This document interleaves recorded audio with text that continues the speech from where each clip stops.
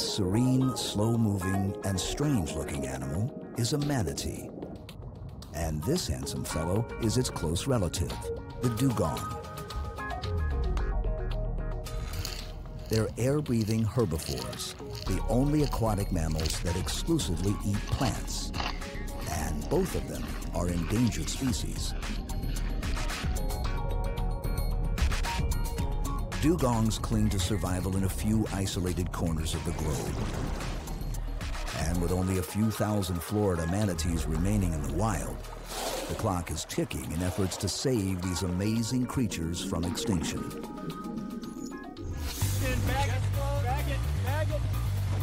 In central Florida, a diverse group of biologists and wildlife officials capture manatees for health exams, census counts, and genetic testing.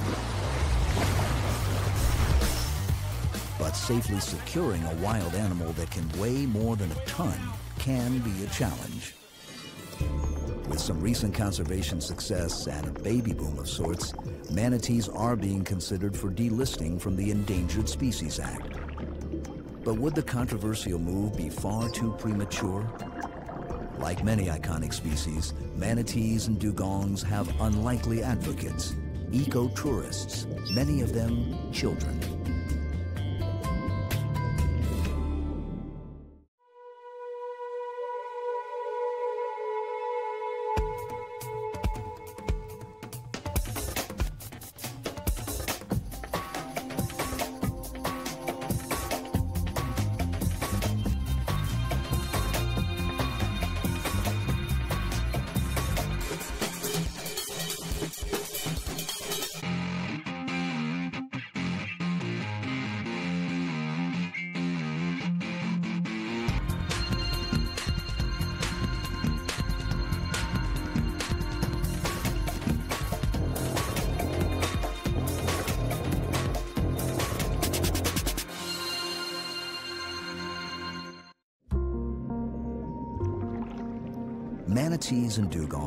Closest relatives are elephants. With thick, leathery hides and coarse hair, they are essentially aquatic pachyderms with matching appetites. Their spindle-shaped bodies slim down to enormous tails. The main difference between the two species are that dugong's tails are fluke-shaped, like a whale or dolphin, and manatees are round and paddle-shaped. They are indeed some of nature's more eccentric creations.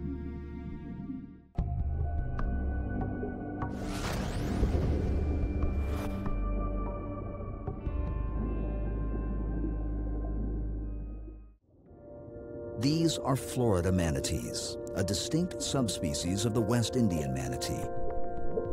They are intensely curious, don't move very fast, and, for better or for worse, habituated to the presence of people.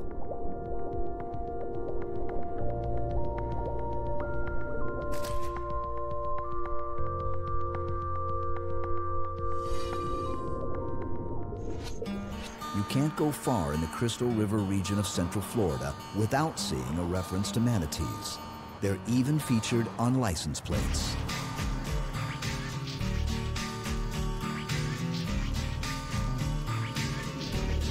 But even though manatees are iconic animals, they're gravely threatened by a decades-long boom in wetland development and dramatic increases in human population. Each year, hundreds of manatees are killed in U.S. waters, mostly from boat strikes. Disease and cold weather also take a toll.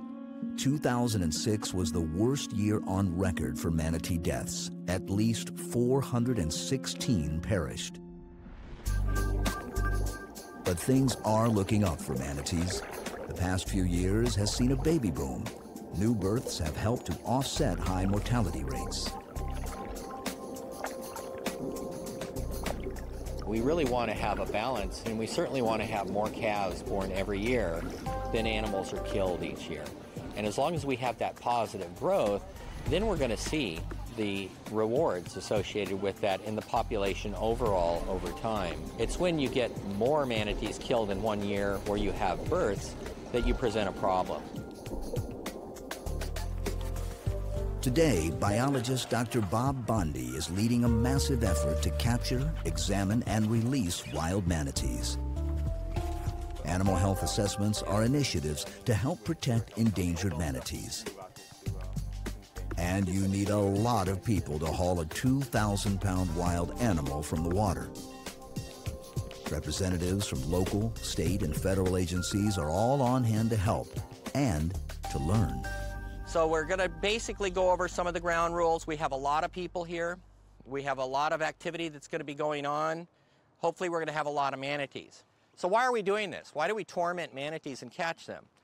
Well, this is a research project. USGS is instructed to come in and learn as much as we can about the health of the manatees in the Crystal River National Wildlife Refuge. Fish and Wildlife Service mandates this, so it's good for recovery purposes to know how well manatees are doing. Manatees' preferred winter habitat is Central Florida, and a lot of people live here, and many have boats. In Florida, when it gets cold, uh, manatees look for warm water sites, and so uh, the warmer the water, the better for these tropical manatees that are found in Florida and southeastern United States, the northern limit of their range with all these people moving down into Florida and bringing their boats, there's a greater greater burden on the manatees that use the same waterways the boats do.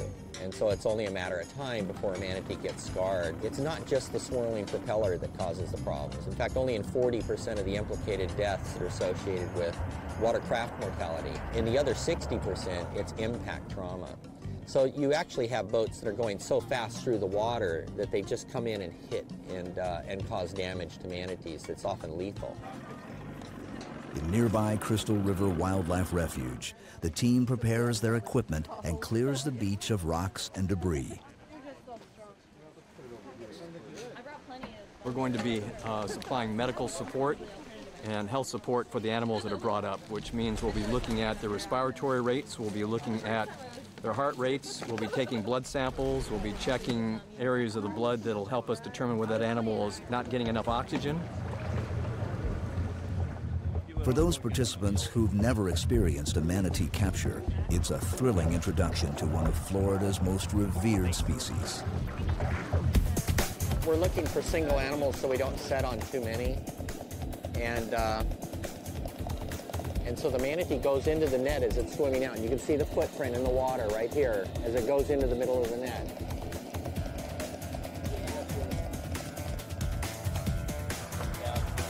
Use that boat to deploy the net and a horseshoe around the manatee and then basically draw the manatee to shore. The net has a lead line and a float line. The lead line um, kind of digs up the bottom and the float line stays on top and we bag the animal up before it pulled to shore. Hull design is a mullet skiff design, um, the old mullet fishermen in Florida used to use, and we've modified it to our own needs by uh, having a removable transom, and we took out a bulkhead. So now we're able to totally uh, set a net all the way around a manatee.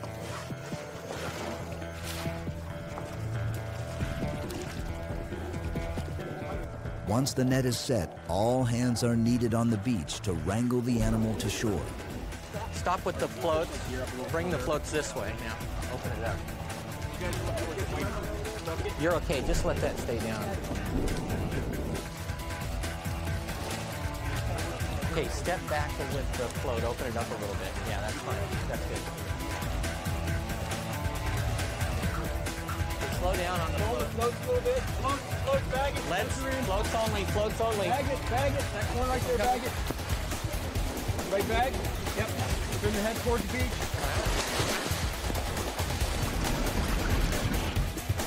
The head's going up. Ready? Head side pulling. Tail's pulling. One, two, three. Ready? Perch this up a little more. Ready? One, two, three.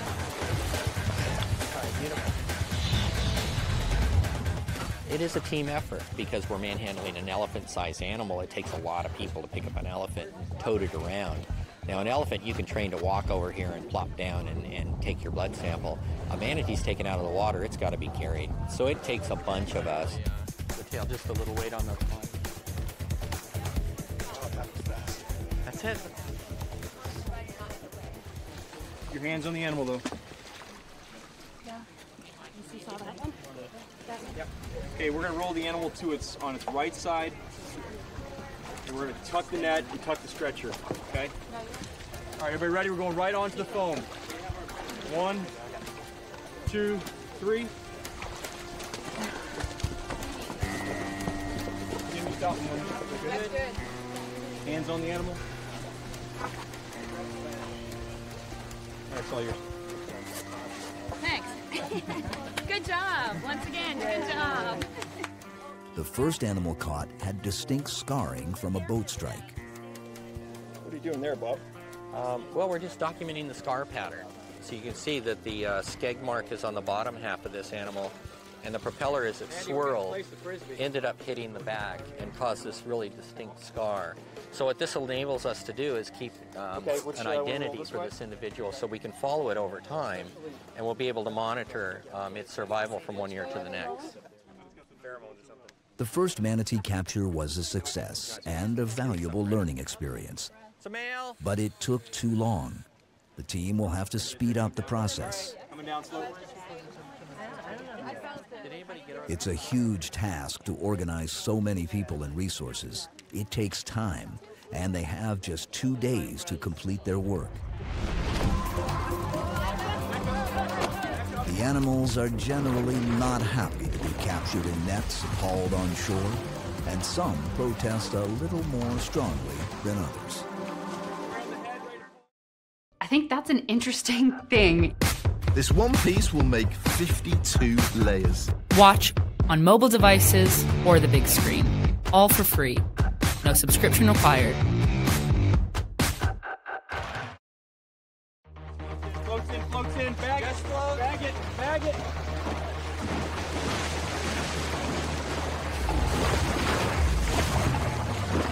Most of the manatees put up quite a struggle, and light as a feather, they're not. They're heavy and they, they get bigger. These these guys have been in um, kind of the bigger range, but they can definitely tip the scales even even heavier. We rescued one back in March of uh, 2007 in Daytona Beach. It was 2,700 pounds, and that was a, a large animal to catch. That's why you can see out here today, uh, it takes a lot of people, a lot of coordinated efforts to get these guys safely caught on shore, worked up, and then back in the water. One, two, three. This big male has never been captured and is unknown to the team. I'm not sure he's in the catalog, so this will be a new cataloged animal. There's just mild scarring on his back. He has remnants of barnacle scars on his body, which, is, which means he's been out in the salt water good portion of the uh, the season. So this may be a transient male that's moving through the area, which is unique and genetically will be very interesting for us to look at. Right now, we're just keeping an eye on the tail area. It's probably the most dangerous part of the animal. They have a lot of strength in their paddle, and uh, so if the animal starts to roll or something, we want to make sure we can get weight on it really quickly.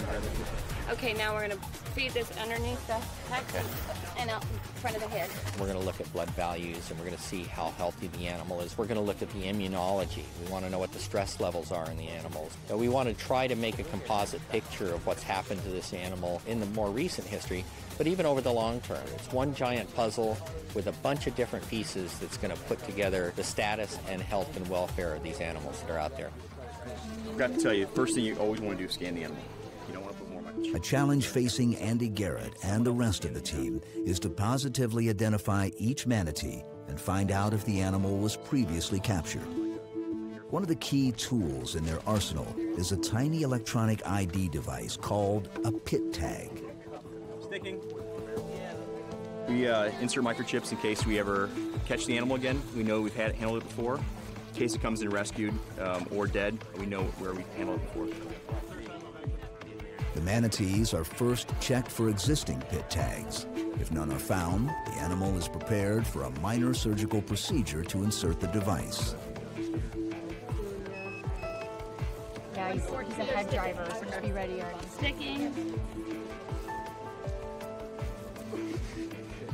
The microchip itself is no larger than a grain of rice and is implanted with a modified syringe.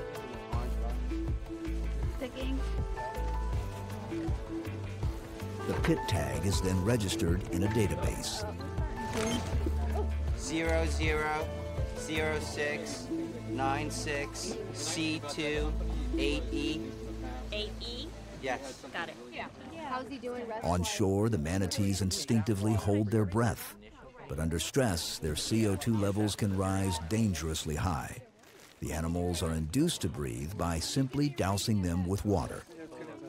We want to encourage him to take breaths and we want to give him oxygen. So we literally have an oxygen valve that we put right in front of his nose, and as he inhales, he takes up some of that oxygen, and it helps keep that CO2 and oxygen balance pretty even. Blood work is perhaps the most valuable part of the health exam. Like humans, manatee blood analysis reveals vital information about the animal's well-being. Core samples are sent out to various labs for testing and cataloging. But with a new high-tech device, much of the work can be done on site. We call it an iStat machine. It measures blood gas, and what that means is we can get a blood sample from the animal, and it gives us the pH, and it tells us their CO2 level, their oxygen level. It also tells us their lactate. Just literally takes a few drops.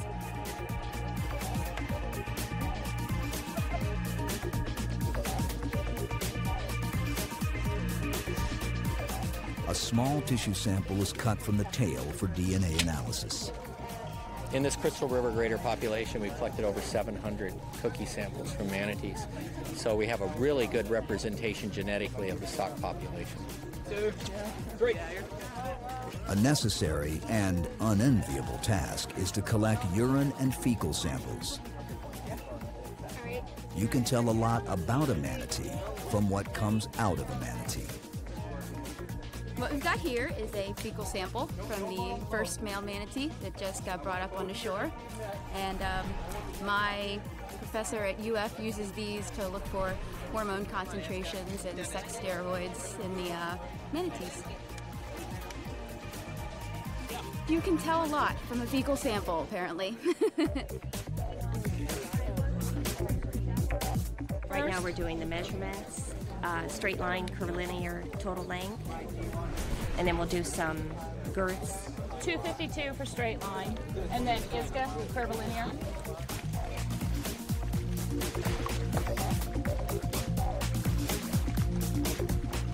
Nearly all of the manatees captured and examined were exceptionally healthy.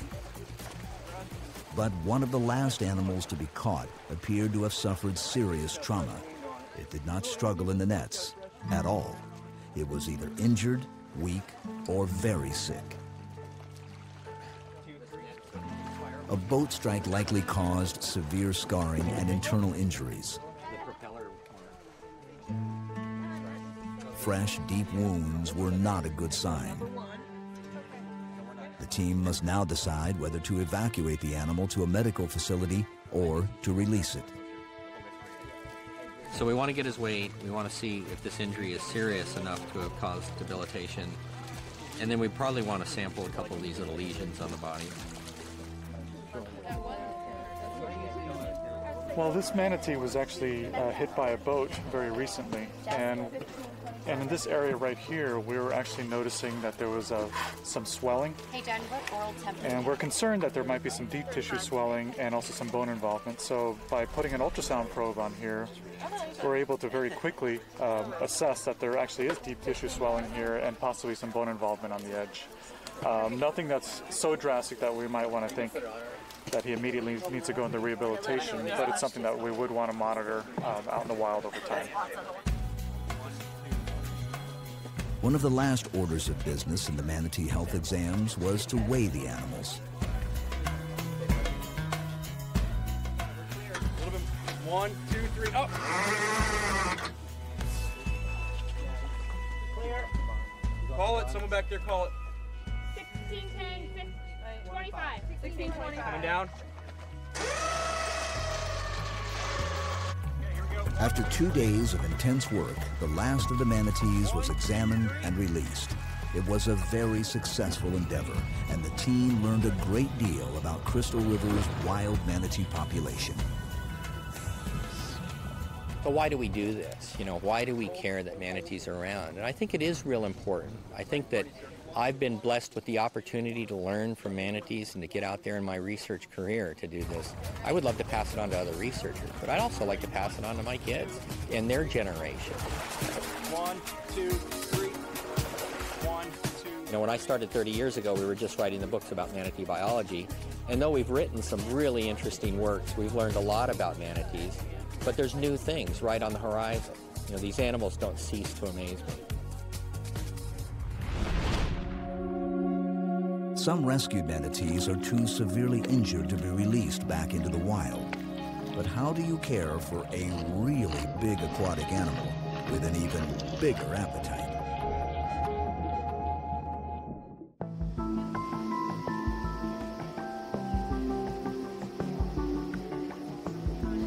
If a manatee survives a boat strike or is incapacitated by disease or cold stress, Florida has a number of facilities which care for sick or injured animals.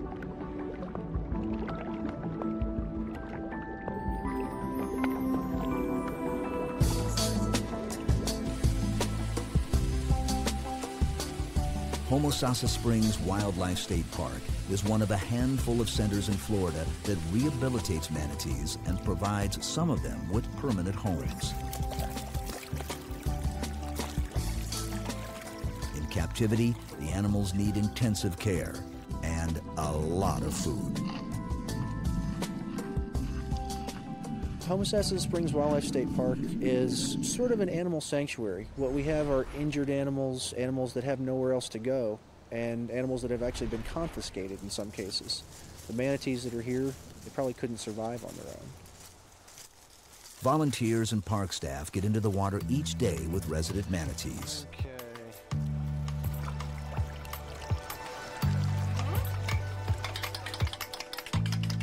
mostly sedentary lifestyle and a rich diet has helped to push the manatees' weights a bit towards the hefty side.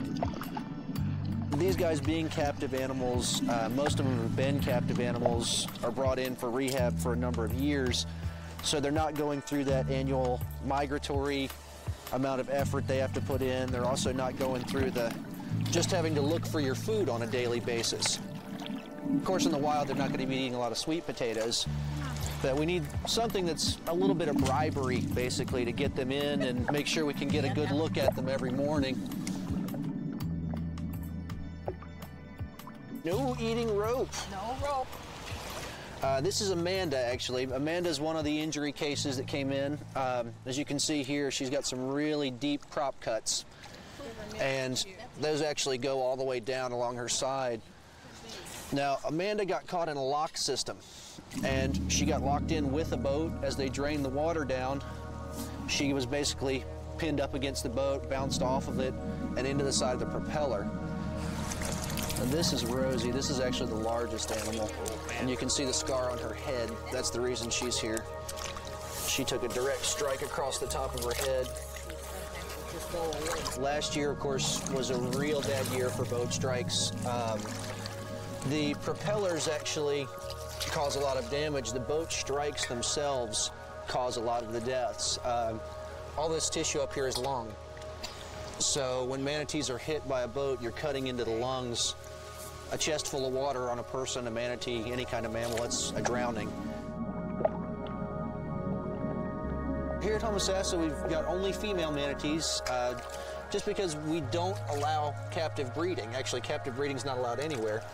And the reason is female manatees spend several years raising their calves, teaching them pretty much where to go to get food, where to go to get water temperature, and also where to go to get fresh water. And that's not something we can teach them here. Manatee's closest land relative or closest genetic relative is the elephant. You do see some similarities.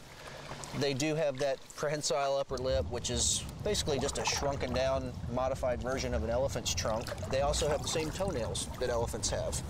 So you got those rounded off. Not much good for digging or, or clawing, but they do have toenails on there. Uh, and they also nurse their young in the same place, which would be in the armpit area or the, the flipper pit area on a manatee.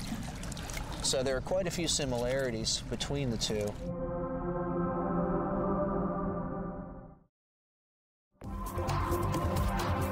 The park, rescued animals have many friends. They're personable. They're gentle. They can be demanding. It's a very cool volunteer position. I've lived here full time for three years now, and I've been at the park for about two years. So it's a really great. I never even heard of manatees till I got here. now they're about my favorite critter. Good morning, everybody. My name is Cindy. I'm a volunteer here with the Florida Park Service. The manatees at Homosassa Springs are very popular tourist attractions. And as long as the food keeps coming, the animals are happy to oblige appreciative audiences.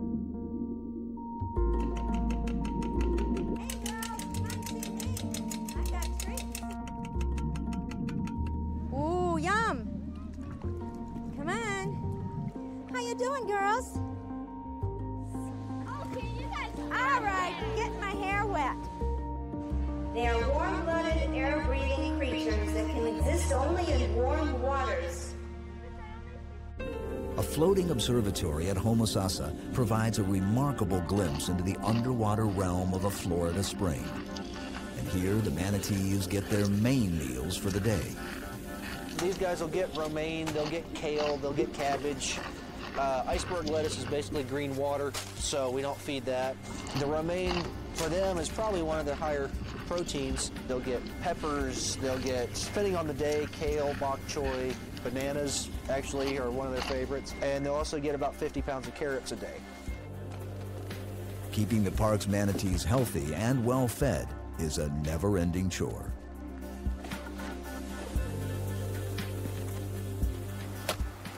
Our manatees here at the park eat a lot of food, four times a day. So this is pretty much an all-day event every single day of the year. So a lot of the research as far as manatee diets and what their, their dietary needs are comes from research with actually elephants, being that elephants have been captive a lot longer than manatees actually. So they know a lot more about the nutritional needs of elephants. Manatees, even though they're called sea cows, internally they're basically horses. So they're similar to another animal that we know a lot more about.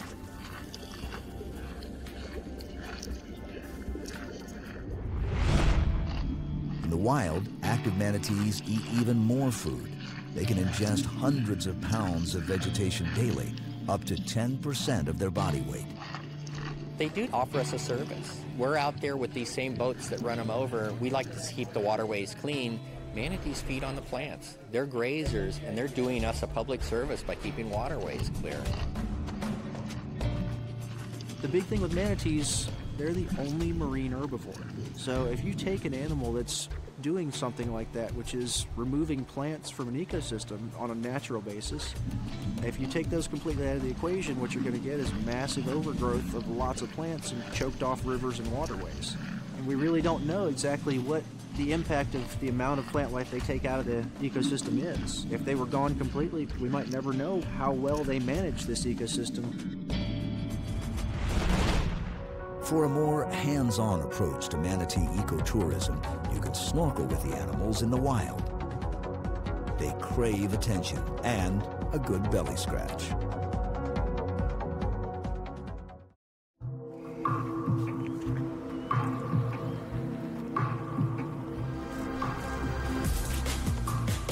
It's the middle of winter, it's cold, and it's way too early.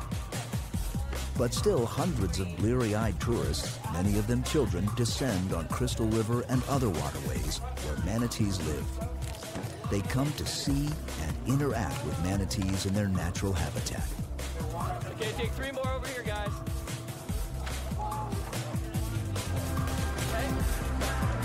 Thank you. The best time is the morning time to see the manatees. That's when we get the best interaction out of the manatees. Um, later in the afternoon, they start feeding. They could care less about us, so we want to get out there early. Let's go over a couple of rules that we went over yesterday, just to make sure we're all on the same page. Want to be as quiet as possible, right? That is the most important thing. It's cold out there this morning, so the manatees should be plentiful.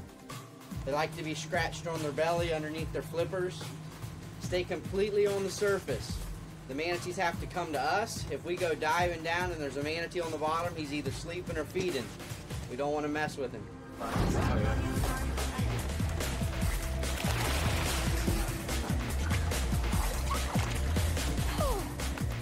Typical weekend. Lots of people, lots of kids. gets a little crowded, yes. Is it a good thing? Is it a bad thing? That's a debate that could go forever. In my opinion, it's a good thing. It's getting education to our youth, and that's what we need to do. Um, it's just going to go a long ways in protecting the species. There's more awareness. And the awareness is taking place in this younger generation. And these are the people that are going to be responsible for taking good care of not only us when we get older, but the manatees that are out there. So it's very encouraging that young people get interested in this stuff. This water environment that we have around us is almost as alien as another planet. And it shouldn't be. We've got animals the size of elephants 10 feet away from us, wandering along the shore. We don't see them because they're under the water. So I think anybody that gets in the water, swims with manatees, sees them in that natural environment, comes out a better person for that experience. Manatees are almost like cows and dogs crossed together underwater. Yeah, and then, you- like, when you try and pet them, they'll roll over like a dog so you can scratch their belly. When you pet them, they're really rough and they don't feel all that great. Yeah. Yeah. slimy, like Yeah, they, they have that, like, algae layer yeah, like on the shells top. and algae Yeah. and like slimy, scaly. It's nasty. Like, the calves make these really high pitched noises. Yeah. Squeals. And it's kind of like.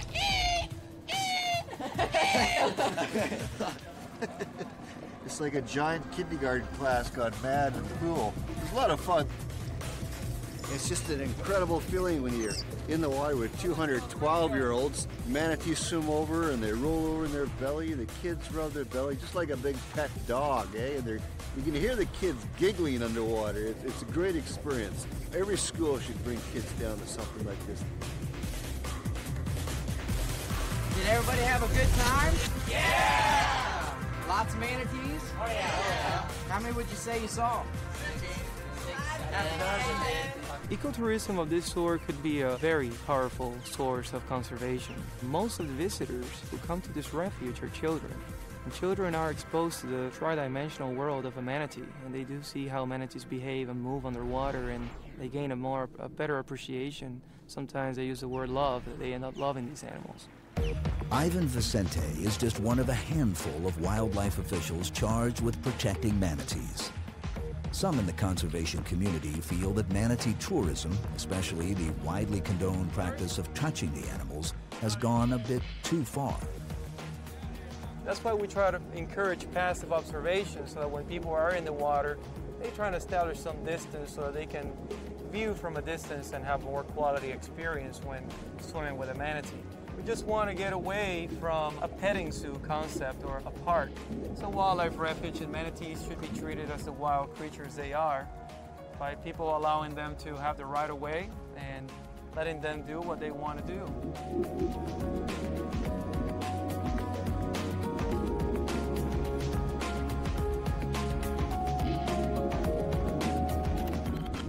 Aerial tour is a good way to find manatees and to see some of the impacts of an ever-increasing human population. Hey, good morning. Good morning. How are we doing? I'm doing great. How about you guys? Good. We're gonna go find some manatees today. Okay.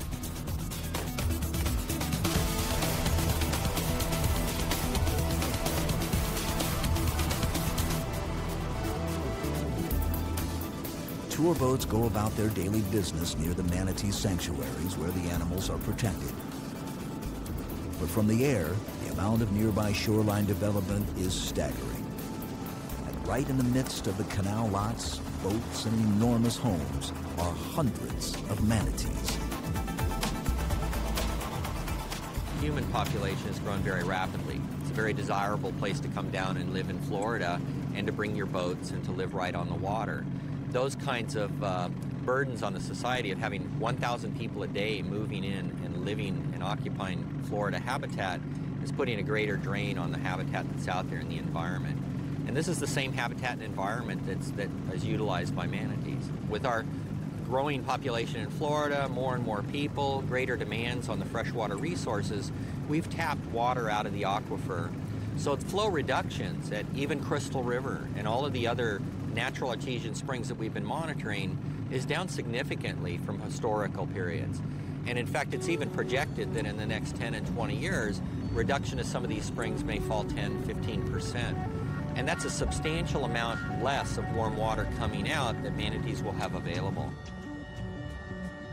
Nearby Homosassa River and its springs have seen even more dramatic losses in water volume over the past few years. We were once a 6 million gallon an hour spring, now we're a 2 million gallon an hour spring. And what you have is just water being used uh, for agriculture, for golf courses, and uh, for housing. So it's taking water directly out of the source. We don't have enough warm water here for manatees, and Mother Nature designed them to live around the equator in the tropics. Um, then Florida and the southeastern United States is not becoming a very suitable place to have manatees. On the other side of the globe, dugongs face similar challenges in their struggle to survive. And just like Florida, some of their staunchest advocates are children.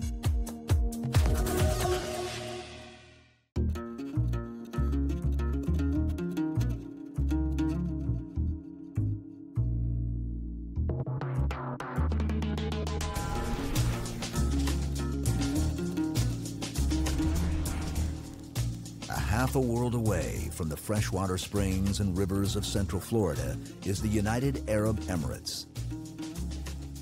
This Middle Eastern country is a study in contrasts. Stark desert terrain, explosive urban growth, and the rich marine ecosystem of the Arabian Gulf.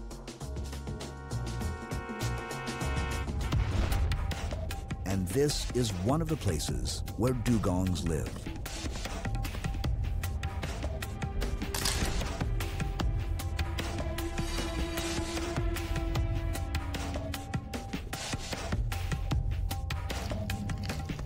Dugongs are found along the coastlines of over 35 countries. The two largest populations are centered off Western Australia and the Arabian Gulf. Unlike manatees, dugongs spend their entire lives in saltwater. There are more dugongs than manatees in the world, but they are spread out over a much larger geographic area. They are still considered an endangered species. And like manatees, dugongs face daunting challenges in their struggle for survival, especially pressures from a growing human population. The growth in the last 30 years has been tremendous. The population of uh, United Arab Emirates as a whole in 1968 was about less than 200,000. Today we are talking about 5 million people. Most of them are living along the coastal belt. This uh, creates a tremendous uh, challenge for us. We have a number of very important habitats and very important species, some of which have uh, global importance, uh, like the dugongs and the sea turtles. It is our duty, it's an international duty for us to protect these dugongs. Dugongs are frequently struck and killed by speeding boats. But the animals live in the open ocean and do not have to navigate congested waterways like manatees do. Boats are not their greatest threat. The most serious obstacle they face is the development and dredging of their coastline habitat.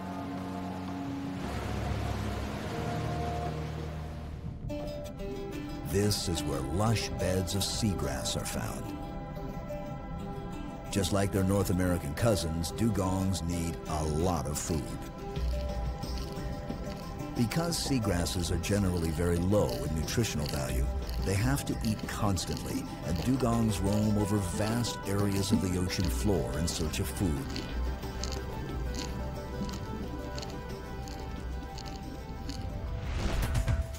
In traditional wooden dhows, dugongs were historically hunted for their succulent meat. But since the 1960s, they've been a protected species. Fishermen used to use handheld harpoons to capture and kill the animals.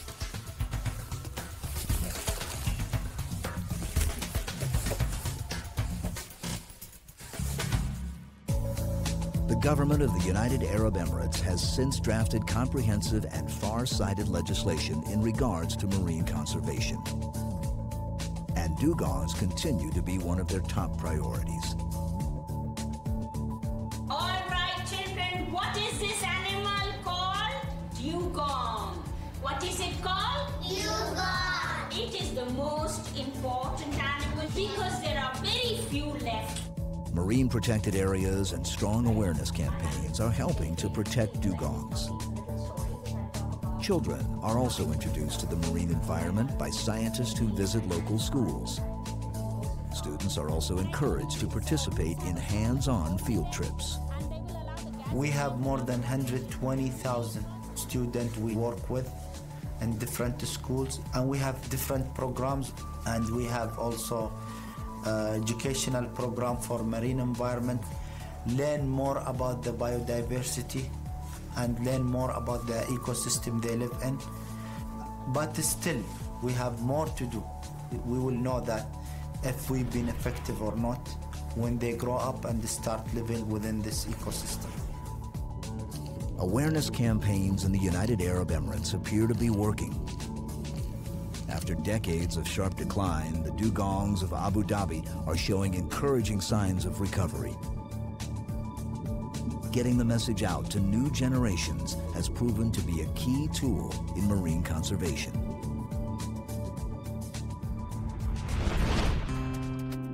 Back in central Florida, manatee numbers seem to have stabilized and are perhaps even growing. But is it far too early to remove them from the Endangered Species Act? Florida manatees have no natural enemies and are believed to live up to 60 years or more. Current estimates indicate a stable but small population of perhaps 4,000 animals. They are still very much at risk. Manatees mature and reproduce slowly. They generally give birth to a single calf only once every three years. And with few offspring to replace animals killed, the population doesn't recover easily. Sanctuaries and restricted manatee zones have been created throughout Florida, and warning signs are posted in waterways frequented by both the mammals and by boat traffic.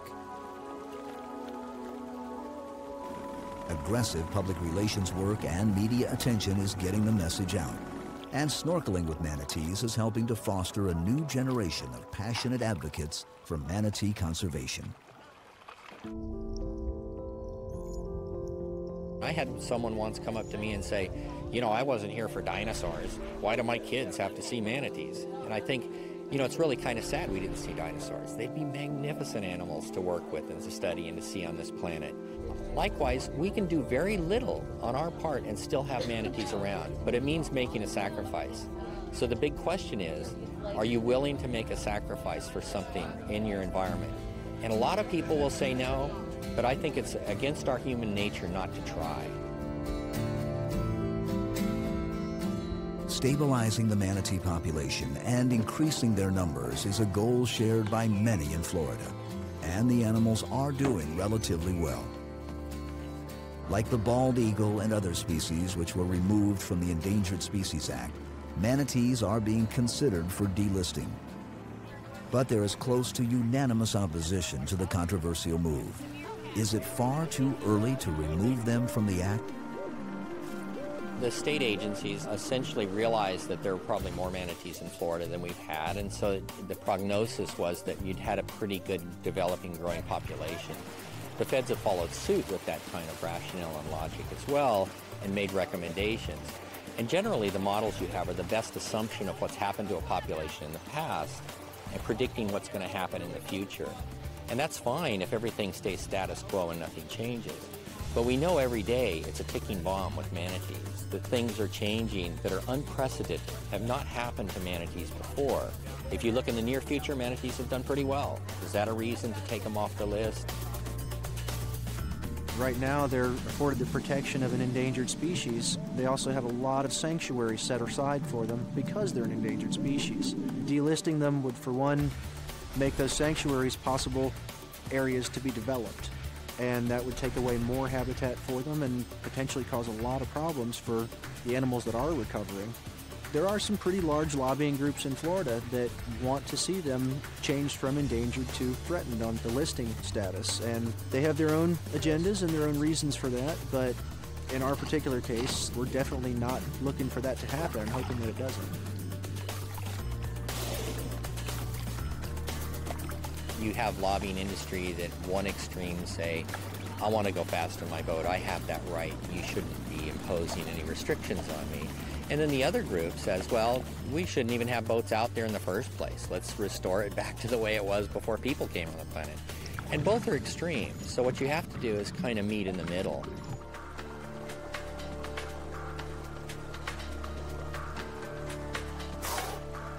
Manatees are luckily still on the endangered species list.